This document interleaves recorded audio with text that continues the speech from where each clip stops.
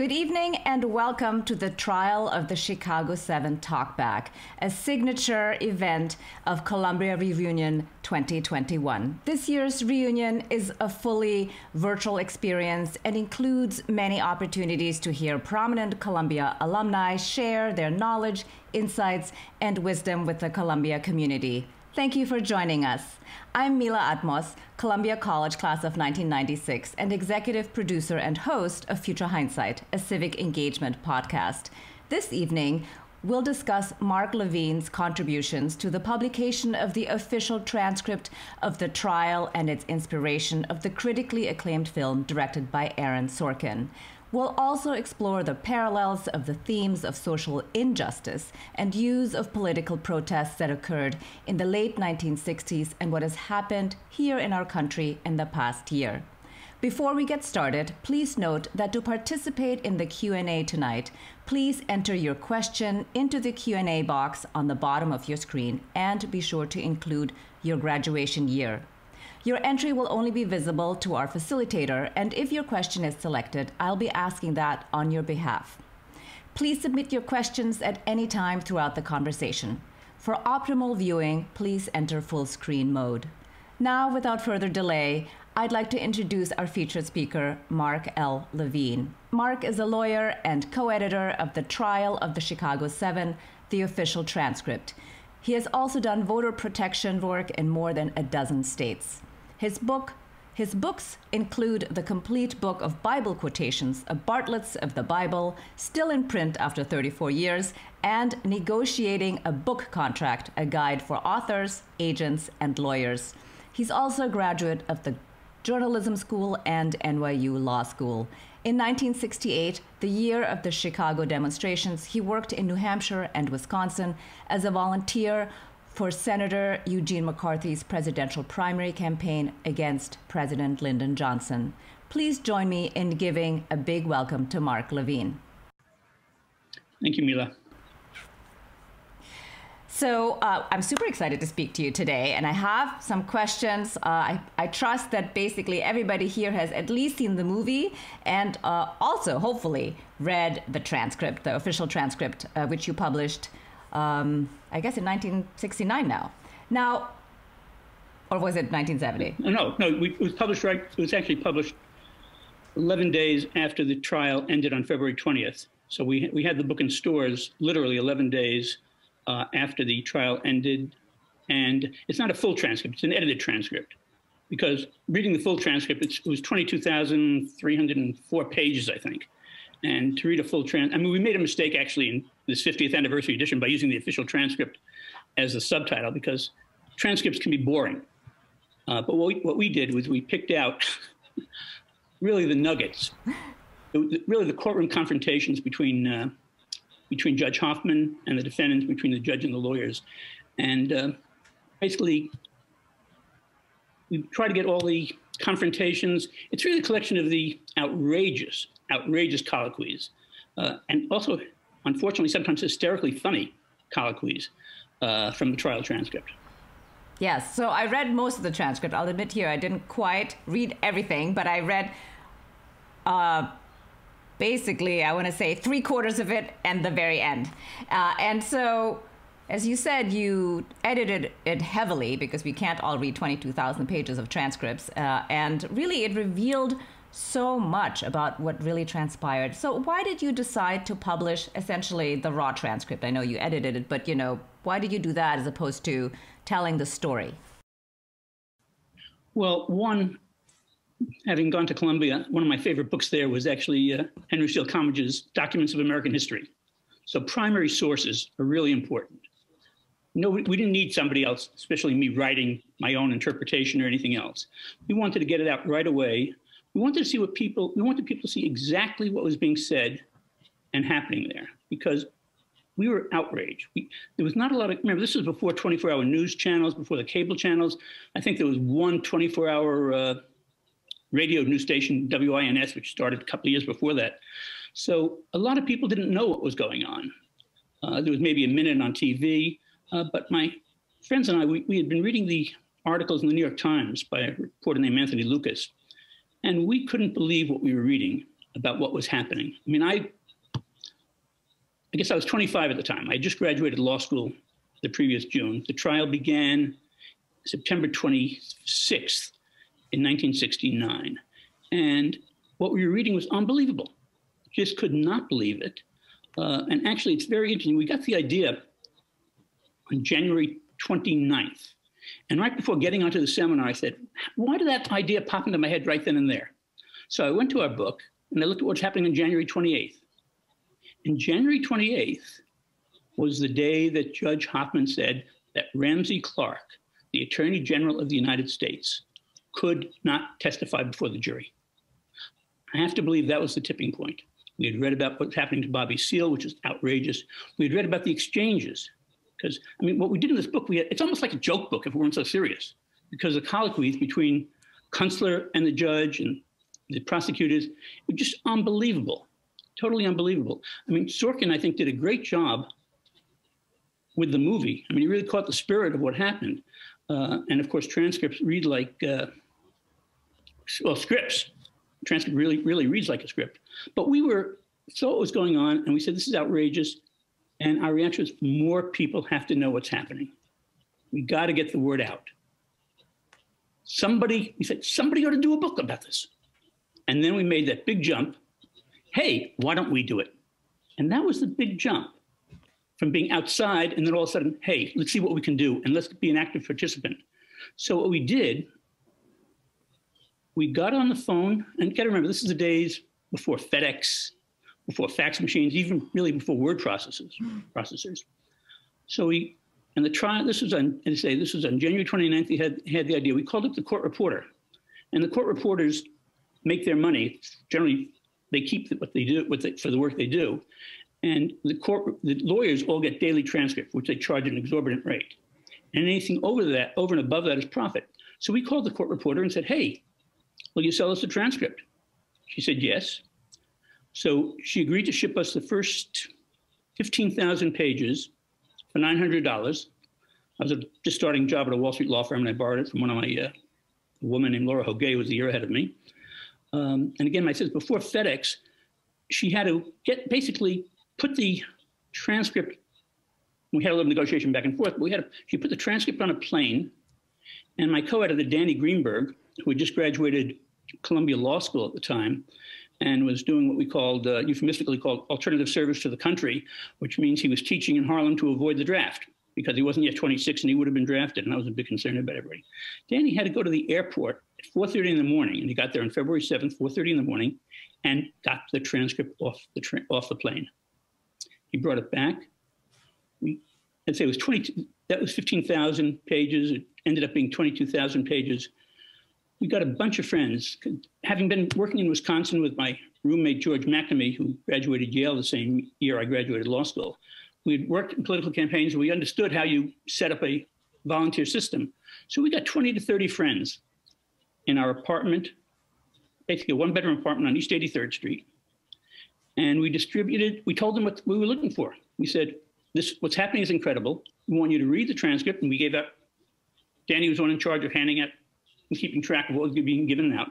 And we told them, take out whatever you think is unusual. We had a bunch of, we wanted the confrontations. We wanted to capture the outrage. We wanted to capture the humor. We wanted to capture the substance of the philosophies of both sides. So we told them, you know, anything out of the ordinary, give it. And the, the other big important thing we did with them is we said, don't, we were all definitely left of center because we've been marching and everything else. Uh, we said we want it to be fair. We want a down the middle pulling out of what's what's in what's happening there. So they did through it, and we went through a funnel system, and I ended up reading virtually everything, making the final decisions.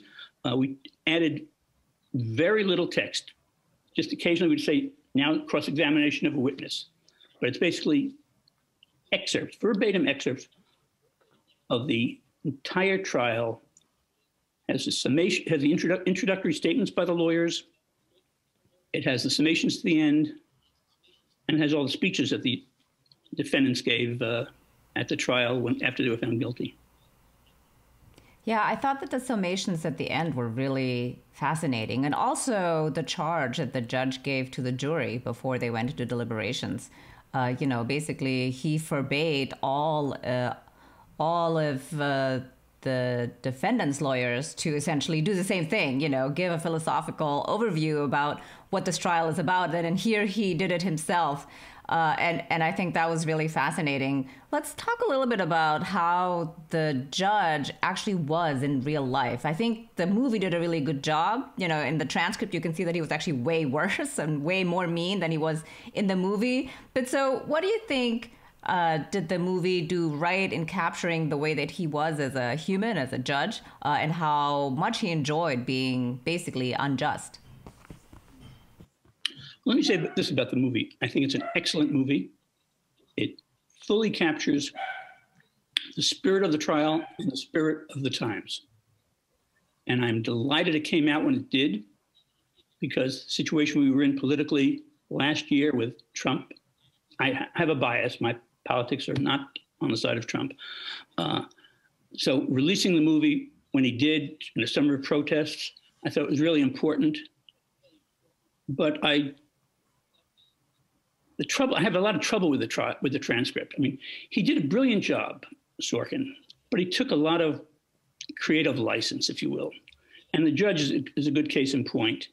Um, by the way, the judge Langella, who did a great job, good performance, but not at all like Judge Julius Hoffman.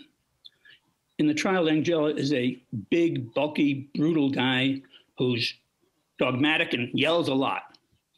Julius Hoffman was anything but.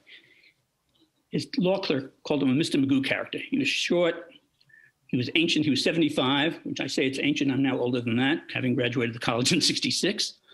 Uh, but Langella was actually operating with a hammer, almost like Thor's hammer, and yelled a lot. Hoffman didn't do that.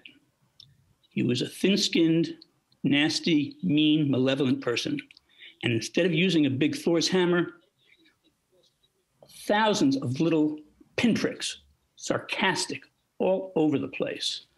Um, the trial would have been totally different, totally different if there were a different judge. So that, that's that's. Say, I think Sorkin did a good job.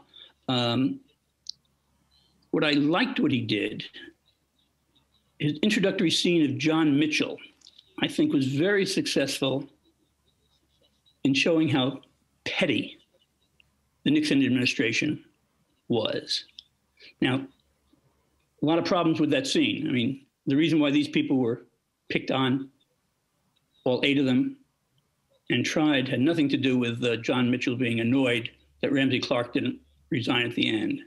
And that openings, there was a meeting, by the way, it's interesting. There was a meeting in Washington with the, the prosecutor Foran, prosecutor Schultz, and John Mitchell. But it was nothing at all like the movie. Um, for the first thing, well, by the way, the lead counsel in that trial was not Dick Schultz, it was Tom Foran. And Schultz was not a closet sympathizer with the defendants. In that opening scene at John Mitchell's office, they have him arguing against the prosecution at all, said they're innocent, and he didn't want to do it. The truth is, Foran and Schultz went to Washington with a draft of the indictment. Schultz was not sympathetic at all, and that's one of the biggest problems I have with the uh, with the movie. I heard an interesting podcast with Sorkin on Economist uh, by a reporter from The Economist, and because I say the movie is, I think it's really great. It captures, it really captures the spirit of what was going on. And the reporter asked him, "How do you justify all the differences?" And hope we'll, hope we'll have time to get into some of the differences because I think people are very interested in, and I think they're very important. And Sorkin started talking about the differences between um, creative license and journalistic accuracy. Um, I mean, there's a great quote. I think uh, Camus says that uh, fiction is the lie through which we tell the truth. And I do not deny that fiction frequently can tell the truth a lot more than what actually happened. My biggest problem with Sorkin here is he's not working with fiction. I mean, I was not a history major, I was a government major at Columbia. Uh, there were some great history professors there Hofstadt, Richard Hofstadter, uh, James Shenton, Walter Metzger. I had a great class in constitutional history with him. Um, my, co- my co-editor, Danny Greenberg from Columbia Law School, who's was president of the Legal Aid Society here for 10 years, he thinks it doesn't make a difference. He thinks the movie showed people what happened there and it was worth it and it was good. And what are we worrying about? The facts.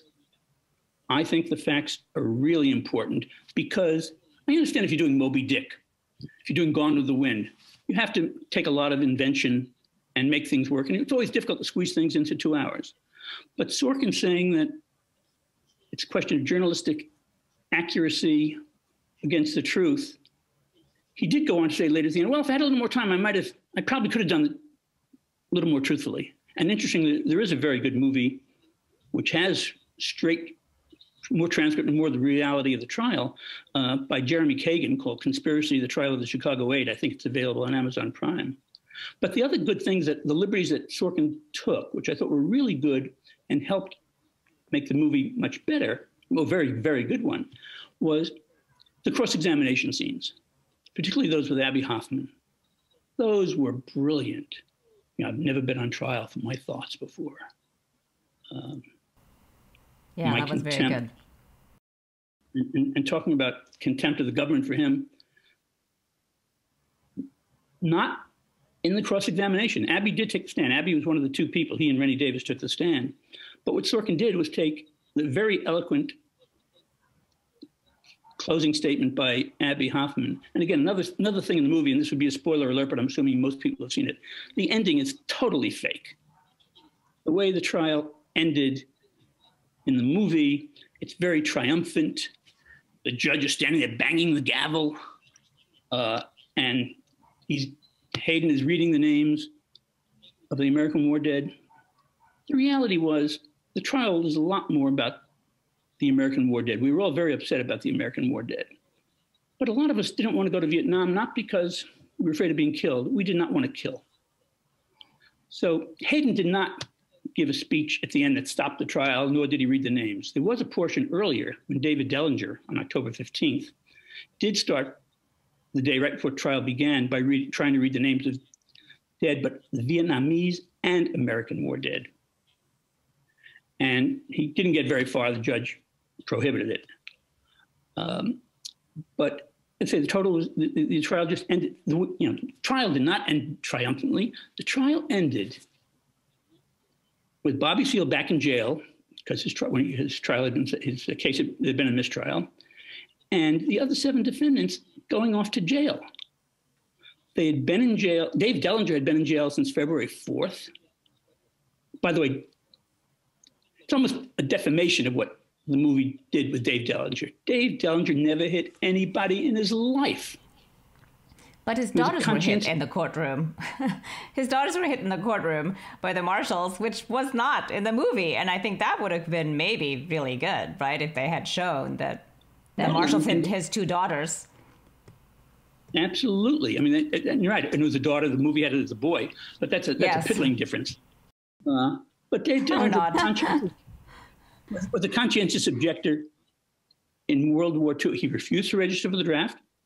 This guy, a Yale graduate, refused to register for the draft. He was tossed into jail. Uh, when he was finally drafted, he refused to serve, tossed in jail again. He was a pacifist and continued till his death, protesting. He was in Japan, I think, when he was 90, protesting against the nuclear plant there. So, but, but what Sorkin did really well, I thought, was, as I say, setting up how awful the government, the Nixon administration was by showing how Mitchell was.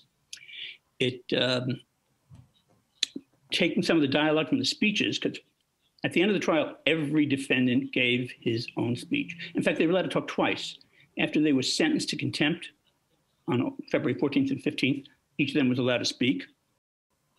And then after they were found guilty on the 20th, each of them were allowed to speak. And these are we have excerpts from these in the in the uh, in the in book. The, in the book, they're, they're fantastic. The other brilliant thing I think that Sorkin did, because as I say, transcripts, 22,000 pages can be really boring, particularly when they're describing facts. By using actual footage of cops clobbering civilians, people protesting. A lot, the black, all of the black and white footage was real footage, and then he had some uh, footage with, with actors. Yes. That brought it to life in the way nothing in any book could do. It was brilliant, and it really brought it home. But as I say, my, my problems with the transcript, because I think truth is important, and I'm not trying to say, and it's actually very important, obviously, what's been going on in the last couple of years uh, with uh, Trump and his followers having their own alternate set of facts. But is it okay if I just mention some other places where the uh, trial, where, the movie went uh, astray in terms of the facts of what happened? Sure, you can do that. But we have time I, for that? I, I, well, we have only like another nine minutes, and I wanted to ask you about what you think was a positive thing that came out of the trial. You know, at the time, even though they went to jail, it wasn't like it had no effect on the country. What was the mood after it ended at that time? Well, the, the mood after it, it was really one part. Remember, the trial wasn't just about the war. The significance of this trial was the government trying to repress dissent and trying to repress protest. And that had happened a couple of times before the trial. Uh, William Sloane Coffin, who was a chaplain at Yale, and uh, Dr. Benjamin Spock, who wrote a book that 13 million parents used to raise their kids, they were put in jail for um, burning draft records. Father Dan Berrigan and his brother Phil Berrigan, and seven other Catholics, I mean, Father Dan and Father uh, Phil were, Je- were Jesuits. They poured napalm on draft records. That was called the trial of the Catonsville Nine. So, what this happened, it was really showing that the corruption even extended to the judicial system. Everybody knew that Nixon and Agnew were mean, nasty people. And everybody found out about it later, you know, when 72 came about uh, in the Watergate break in, that Nixon and John Mitchell, Attorney General of the country, was in on the meetings of how do we break into the headquarters of the Democratic Party. That was who was running the country. And so this really showed the whole justice system. I mean, and it's not surprising for state court judges not to be very top notch, but generally federal judges really are good. Uh, I'm not sure we can say that for a long time, uh, given what some of the non-approved people who were not really approved, uh, but who were ratified by the Senate last year. Um, so that, that's really what happened. It really, I think, the trial itself didn't make a big impact, but the whole anti-war movement made a big impact. I mean, the same year as the trial was going on, trial only had the demonstration in Chicago only had what 10,000 people. But while the trial was going on on October 15th, the day that Dave Dellinger was reading the names of the Vietnamese, tried to read the names of the Vietnamese, 500,000 people were demonstrating in Washington. A month later, November 15th, another 500,000. And my, you know, I and my friends were there demonstrating in Washington. So there was a big movement of going on. Uh, and, and that's what happened. It really woke up the country. Uh, and, I, and I think our, book had a significant part. We, we sold something like 180,000 copies. Wow. And I say we, they, they were able, yeah, they were able to get the book in the bookstores literally 10 days after the trial ended. Um, That's tremendous. Well, at the end, uh, you know, the statement by Jerry Rubin, he said to Judge Hoffman that he is actually radicalizing a lot of young people through the trial, uh, you know, with the outcome. So it sounds like that's essentially accurate with, in aggregate, millions I of people protesting. It, it did. It, it, it, act, it, it really stirred up the base the activism. It continued. I mean, it, was very much like what happened last summer with the Black Lives Matter movement. Yeah. So, what do you People think are the parallels between that time, the late '60s, and to and last year? In what ways do you think they're the same? In what ways are they different? Well, in both cases, the situation that produced them was the same. You had a corrupt president, in my opinion, whether it was Richard Nixon or uh, Donald Trump. You had a Justice Department, John Mitchell, or William Barr, who basically spun the Mueller report in a way that is still being litigated. Um, so that situation was there. The effect of the media, I think, was very important with all the demonstrations because not just our book and the trial, but the newspapers and TV. I mean, I remember, you know, in Furnald Hall, where I was during the 60s uh, when I was there. I mean, what, people would watch TV and they, we'd see the bombing in Vietnam. We'd see the napalm, napalm being a, you know, it was dropped from the air and it would just burn people alive. Um, so there was all the outrage. Um, the energy is the same. And the other thing that's interesting in terms of the same, I think the size of the demonstrations. And unfortunately, unfortunately, I think what is the same is the reaction by the authorities, whether it's by Richard Daley or John Mitchell or Donald Trump telling people, cart them out of here, you know, the way we used to do it. Uh, and the cops in Chicago banging heads. Um, I mean, it's interesting what's happened, all the, racial protests that Eugene Robinson, a great reporter for the Washington Post, said uh, after one of the first videos, iPhone videos came out uh, of a black person basically being assassinated by the cops, just the way Fred Hampton was, if you will. Um, said, now, will you believe us? Because this is going on all the time, but until we had the pictures, nobody believed it. So the activism was the same. I think nowadays, I think two differences. In the, I think maybe you have more older people joining in the in the activist demonstrations now. And I suspect that's because of all of us baby boomers have grown up and we're protesting, where our parents back then were not protesting. I think the other big difference is um, a lot of the demonstrations against the war were very heavily white. The civil rights demonstrations were heavily black with a lot of with a number of white people. What was very inspiring and encouraging about the demonstrations of last summer where I think you had whites and blacks marching together.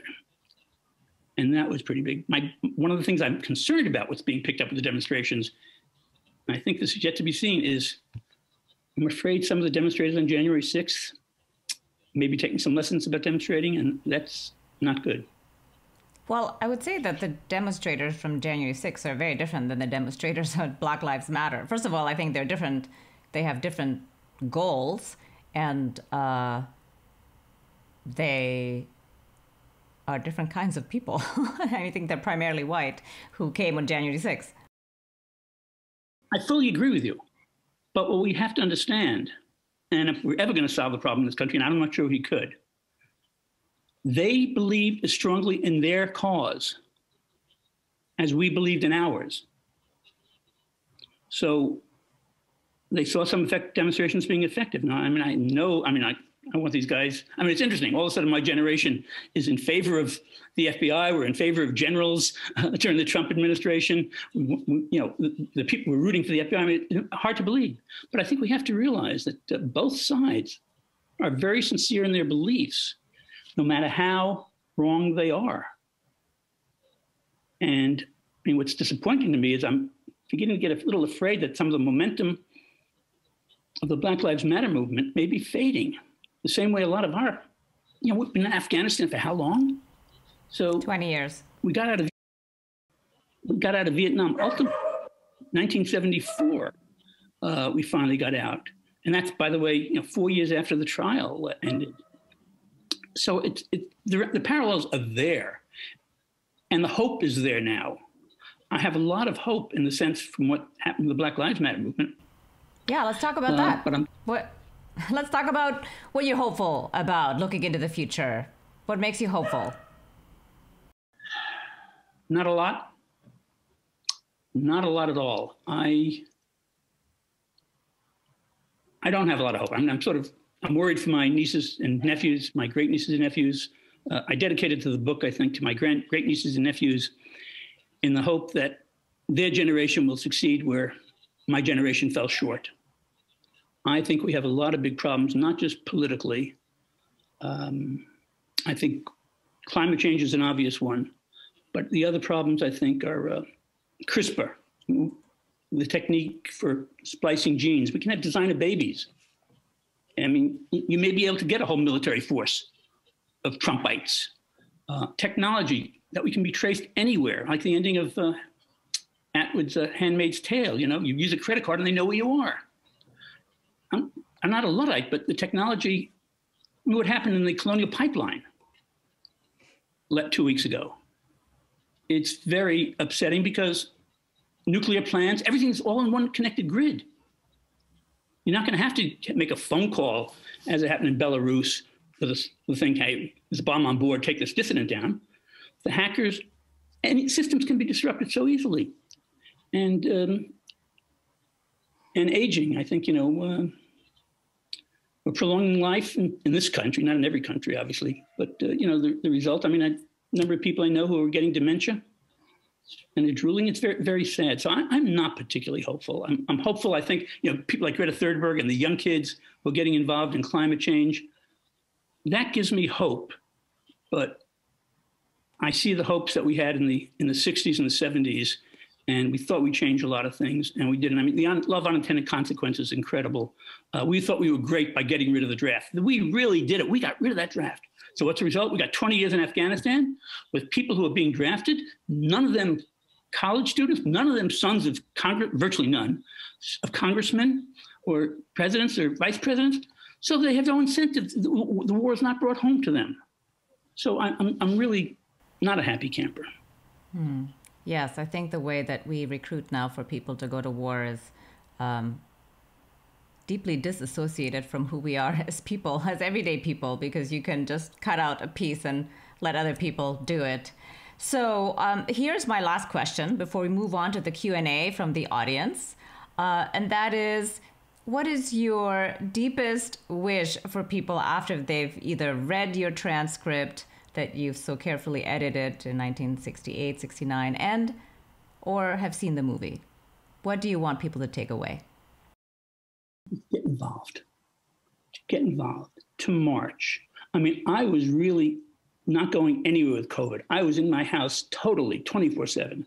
However, I on Thanksgiving, I went down to 10 days to Georgia wearing my double mask and a visor on the plane. And I went down there and I worked for Stacey, but not for Stacey, for, Ossoff and, and the Rev, Reverend Warnock, for 10 days trying to register voters down there.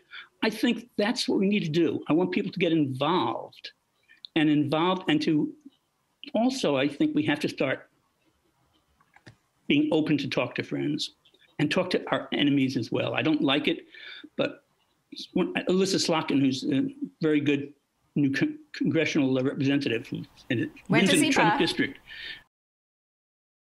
Yes, that's right. She did. Uh, and she's one of this progressive caucus. And her advice to people, because I was on a Zoom with her two weeks ago, she says, talk with people not about what's going on. Go to the food pantries and work alongside them get to know people as people, don't discuss politics. We have to realize that we're all human beings. Uh, and then maybe, maybe, maybe something will change. Because I think when, when we start treating people as individuals, maybe then there's hope. Yes, I agree. We should treat people as individuals and remember we're all human together and we're all suffering this condition at the same time. Um, so let me see. Here's the first question from Thomas Brunner. He says, Did you have any contact with the lawyers on either side as you were preparing for the book? Were they aware of what you were doing? Uh, no. However, we did call. I mean, right now, I mean, Danny has done a lot of work over the last 30 years with Bill Kunstler and, uh, and Lenny Weinglass. However, I do remember a phone call we made to Bill Kunstler's house because we had some question about something in the transcript. And we were really reluctant to make the phone call because he had just been sentenced to, I forget how many years of contempt, know, in jail for contempt. Uh, so we did not have contact with them. Interestingly, right after, with the people who were doing the appeals, they came to us and said, Can we use your copy of the transcript? And we said, absolutely. So the, the for the appellate lawyers, we provided our we, we provided our, uh, our transcript and everything we had on it, and we've had contract. You know, we had conversations with them subsequently, but not not during the trial. They they were up to their up to their neck doing what they were doing. Right. And plus, the judge removed some of their lawyers who were helping them in the middle of the trial, or not the judge. Some the marshals caught them, but uh, the judge tossed in jail before the trial even started on the very on December, September 24th, he took four junior lawyers who were part of the defense team, right. who were only involved in doing pretrial preparations. When they tried to step out from the case, which would be very normal Judge Hoffman cited them for contempt, tossed the two that were in Chicago in jail, ordered the others to come to, to come to Chicago so he can put them in jail. 100 lawyers next uh, over the weekend 100 lawyers went down to the courthouse and marched and got into the courthouse and talked to everybody. Harvard petitioned harvard lawyers wrote letters. Julius had to back down. But that started the whole thing the way, the way hoffman treated the uh, treated everybody. Treated the defense yes. Here because you know yeah, it was judge hoffman and, and Abbie hoffman and, and, and they really represented the clash of cultures that existed, because that's what it was. The whole trial was a clash of cultures. It was the establishment personified by Julie and the counterculture personified by Abbie. Yes. Well, here is another question from Annie Della Pietra. She's class of 91. She wants to know Was Bobby Seale really gagged and bound in the courtroom, or was that creative license as well? It's true. Great question. It, it's not only true, and now, obviously, you know, d- during the convention, during the demonstrations, when the cops were clubbing everybody, people were yelling because cameras were all over the place. The whole world is watching. The whole world is watching. Well, during that trial, the whole world is watching. But the problem I have with that Bobby Seale scene and her question of asking whether it really happened is an important one because Bobby Seale, you know, the trial has Dick Schultz for putting on another witness he's a nice guy and he goes up, Judge, we got to get rid of this. We got to let him free. We got to have a mistrial. Bullshit, part of my language. He never did anything like this. Bobby Seale, a black man, was gagged and chained in an American courtroom for four days. Four days. And that is missed. And why? And he didn't do it because he was not tossed in jail because Fred Hampton was killed the night before. That's another artistic license, if you will, by Sorkin. Bobby Seale was severed from the trial on November 5th.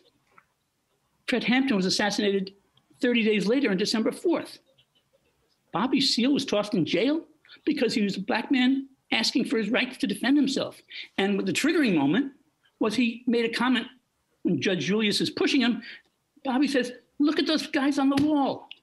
He had, Julius Hoffman had paintings of, I think, Ben Franklin and George Washington. They're slave owners slave owners. Never, horrible, never in my life have I been, as Julius saying, have I to hear somebody say that the father of this country were slave owners. Um, I mean, Julius couldn't deal with it. And then a line that Sorkin, Sorkin did take verbatim from the transcript. And it's so chilling, and it's in our book on page 74. And let me just let me just read it very briefly. He did say verbatim, take that defendant into the room in there and deal with him as he should be dealt with in the circumstance.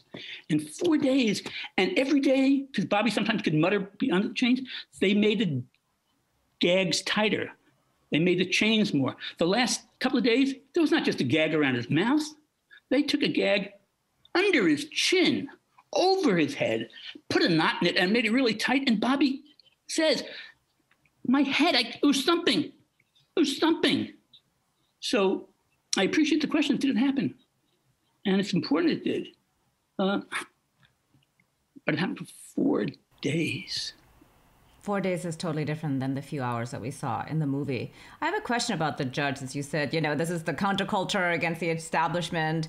But, uh, you know, I think one of the things that's lost is that actually Judge Hoffman was born in 1895 uh, which you shared with me in our pre-call. And it's the kind of thing where when you see this movie, that's not what you're thinking. I mean, he has this perception of himself in a way that's completely at odds with the way people were at the time. And as you mentioned, you're even older than he was at that time. But I think it's so different the way that you know he li- he was born in 1895, so he lived through World War One, lived through World War Two, and I think to come to this courtroom.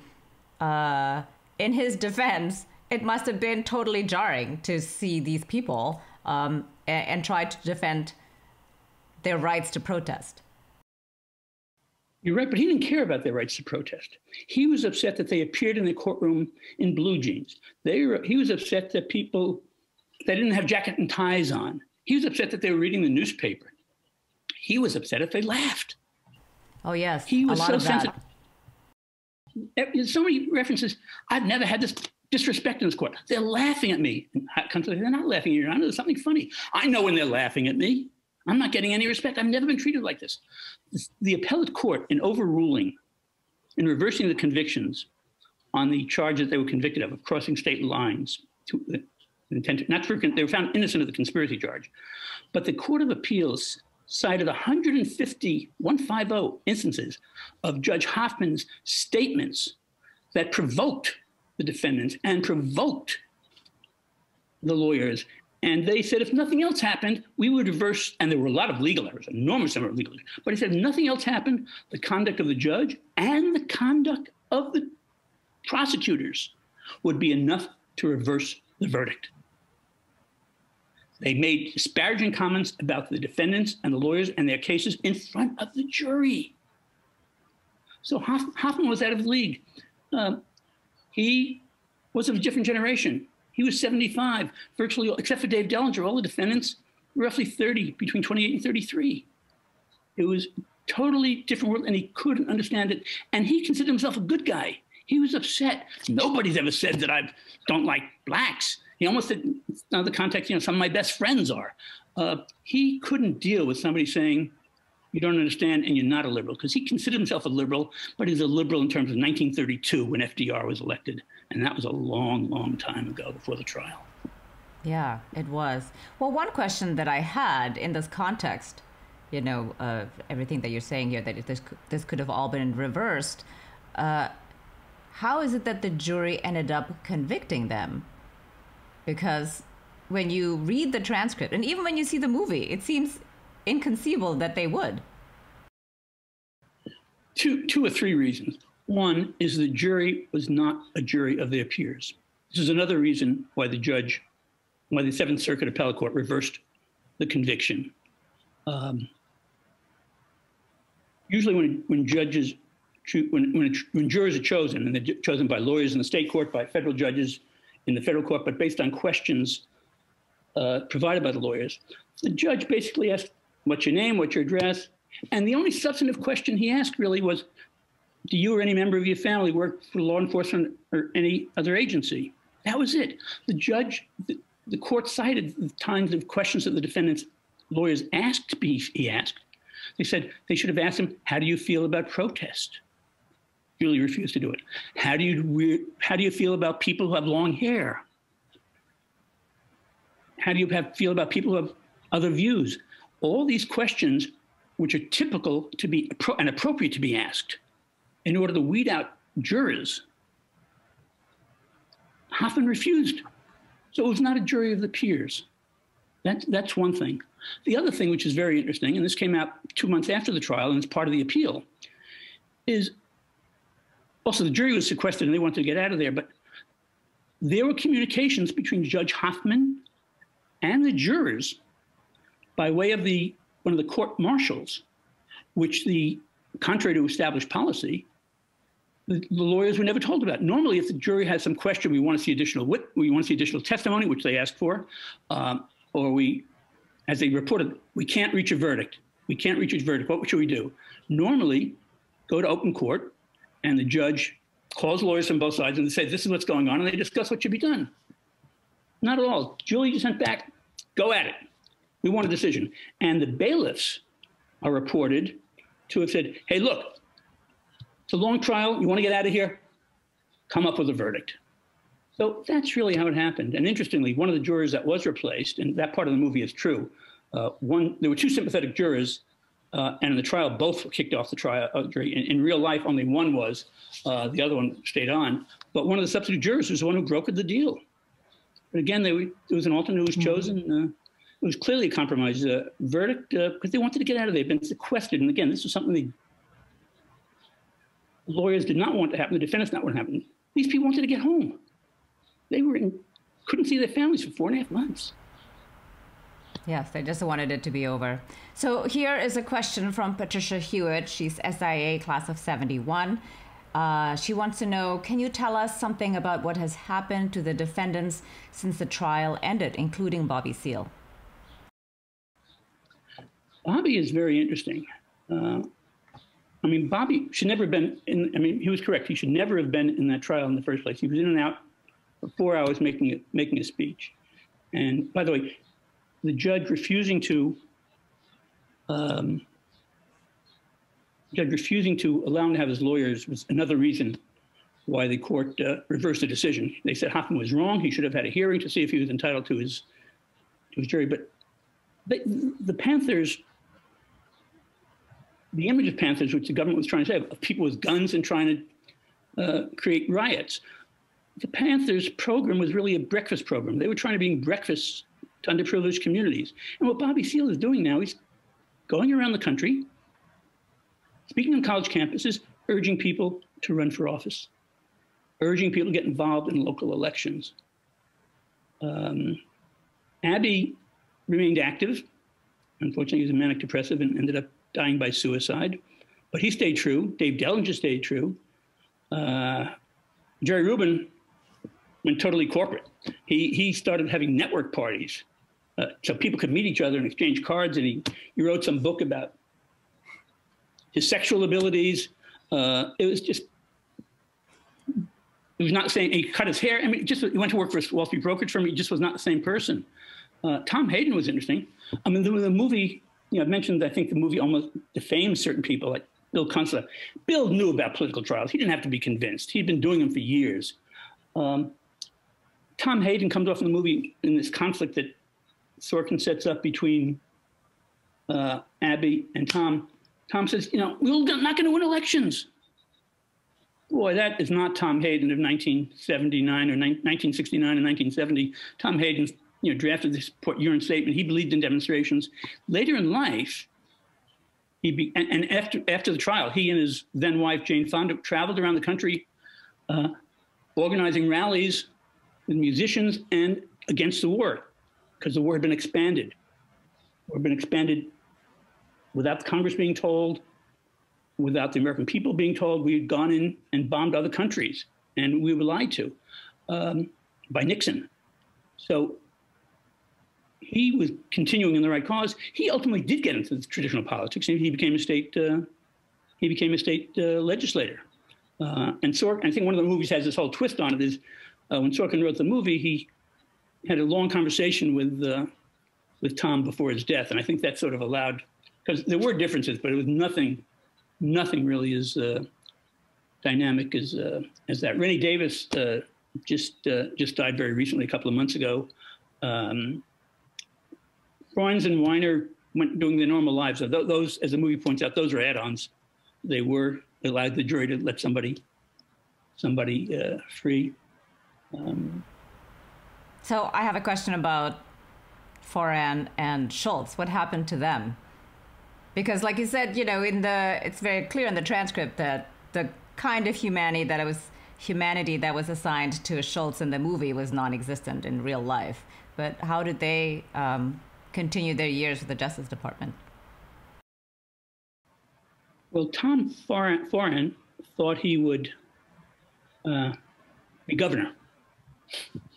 And he saw this trial as a great way to get himself the publicity to be reelected, to be elected. It didn't happen.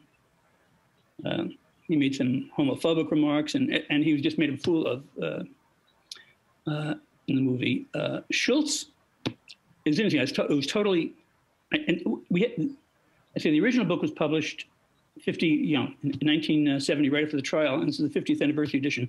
We added two appendices, uh, which were not in the original edition. One is about the post-trial lives of all the defendants, the lawyers, and the judge. Um, and another is about um, what happened in all the various appeals. But Schultz was one I couldn't find anything online about him, absolutely nothing. I was finally able to find some small references to somebody once worked with, and I was able to network to him. And I spoke to him on the phone and he is one bitter man. One bitter man. Uh, he thinks does no good work to save a Kunstler. Um, he, he, you know, getting him to speak to me was difficult. He, he finally did. I think he was encouraged by his wife. But um, and and Rennie and uh, not Rennie, uh, Bill and Lenny stayed true. They kept litigating. Uh, Bill represented the Central Park Five, uh, now called the Exonerated Five. Uh, he died actually before the verdict was reversed. Uh, Lenny represented uh, Daniel, Daniel Ellsberg's co-defendant in the uh, Pentagon Papers case. So both of them, as you, as, you know, as, as, we point out in the appendix, they stayed very, very true to what was uh, going on. And Dave Dellinger, that was, you know, protesting and virtually until his death.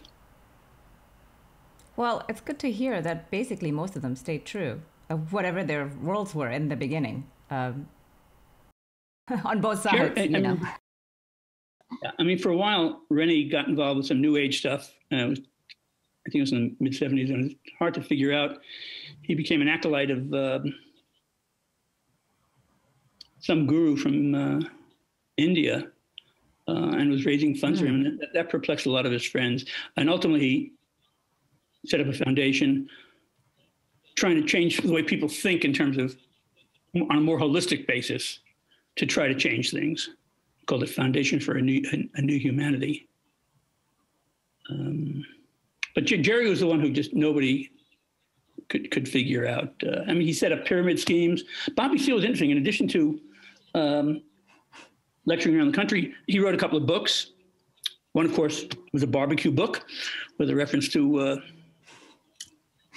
barbecuing bacon, which was uh, as you see like in the, the book, a lot of in the book, lots of references to pigs in the book. But Bobby also taught uh, at Temple University in um, in Philadelphia. At one time, also, I would say he was also trying to sell some wonder drug uh, that Jerry Rubin was hawking in some sort of Amway scheme. Uh, what can I tell you? yeah, well, you know, we all we all like the magic the magic pills. So uh, here's the last question again from Thomas Brunner. Uh, he wants to know: Was there any effort during the trial to seek intervention of the Seventh Circuit of Appeals? Not to my knowledge, Tom. Tom, by the way, is a classmate of mine from uh, Columbia '66. Uh, to my knowledge, not not not, not at all. Um, the I believe there may have been some motions early on when the when the uh, when Hoffman was jailing the four young lawyers at the beginning. I think there were some motions to the Seventh Circuit, but to my knowledge, there were no other uh, motions until the end. And I say there were, there were in five cases afterwards because there were there were five separate post-trial cases. And on our website, which is uh, Chicago7trial.com, I have a page called Related Links, and we give links to each of the court decisions in the five cases. There was one, the appeal of Bobby Seale's 16 contempts, which were thrown out. By the way, you know, there were 175 contempts in this case, contempt convictions, 159 against the seven people, another 16 against Bobby Seale, 175. At the end of the day, after going up and down and up and down the courts, only 13 were upheld. The courts, appellate courts basically said that, you know, a lot of the stuff was provocation. And the only ones that were upheld were uh, seven against Dave Dellinger, two against Bill Kunstler, and two each against Abbie and Jerry. Interestingly, the ones against Abbie and Jerry are for something that happened in the movie, uh, for wearing judicial robes. But again, it was not in the early part of the trial. It was really on a couple of days from the end um, that that occurred. Let me point out one other thing that happened in the movie. It was very different. Ramsey Clark, the court, appellate court said he should have been allowed to testify. Absolutely. Bill Kunstler, and you, you, see Bill's argument in the book. Bill's argument that he should be allowed to testify, and they, re- they said that was also reversible error. But even in the voir dire, I mean, so it's very good. Sorkin is trying to say how right our guys, how right the defendants were, because he has Ramsey saying, hey, his department had determined that it was a police riot and there was no conspiracy. But he never said that. Even in the voir dire, outside of the, outside of the jury, Ramsey Clark's testimony, neither of those things Neither of those things did he say. Yeah. Well, I I still really enjoyed. I mean, to your point, it was still an incredibly, really good movie, and it was really fantastic for especially younger people like myself who weren't alive in 1968 to see it and to know that these things happened, and and to be able to draw the parallels to what's happening today. You're right. One of the reasons we did the book was we wanted people to know about the trial. We wanted people to know about the outrages that were happening. And people forgot it. So Sorkin has done a great service by bringing out the movie because let me tell you, a lot more people know about what happened in terms of the spirit of what happened and the substance of what happened, even though there's so many differences, uh, because Sorkin did this movie. And again, it's not really Sorkin. He's getting all the credit. Sorkin didn't, he wrote an introduction to our book where Sorkin says Steven Spielberg it was the idea for Steven Spielberg, who was originally going to direct the movie. And he called him in 2006 when they were originally going to do this. And Spielberg wanted Sorkin to write the screenplay. And he, Sorkin says, Steven called me in and I went over because I was really excited. And he told me he wanted me to write the script. And I said, Great idea, Steven. I'd love to do this. It's going to be a great movie. Sorkin then says he left Steven Spielberg's house, called his dad and said, What's the Chicago Seven? He had no idea. He was born in 1961. Uh, so a lot of the credit much as I think Sorkin did a great job, but a lot of credit also is due is due to Steven uh, Steven Spielberg. By the way, if anybody has questions here which are not answered in the chat, uh, feel free to write me at Mark M A R K at uh, Chicago Chicago7trial.com, and I'll be glad to uh, answer your questions. Terrific. Well, thank you very much, Mark. Uh, this was really a fantastic evening. Thank you for sharing your evening with us and uh, your unique perspective on all the work that you did to bring the transcript to life and to fruition to all of us to and to um, hear from you this evening on all of this. Thank you very much. So this concludes this evening's event. You're welcome. Uh, this concludes this evening's event, the trial of the Chicago 7 Talkback. Thanks so much for joining us. And as you log off, uh, I encourage you to take tonight's conversations with you as a reminder to stay inspired, to get involved, to Mark's point, to keep learning, to push the boundaries, and to always remain fiercely committed to the common good. After all, that is what it means to be a Columbia Lion. We hope to see more of you at Reunion 2021 programs this week and next week. Enjoy your evening. Thank you. You're welcome. Thank you.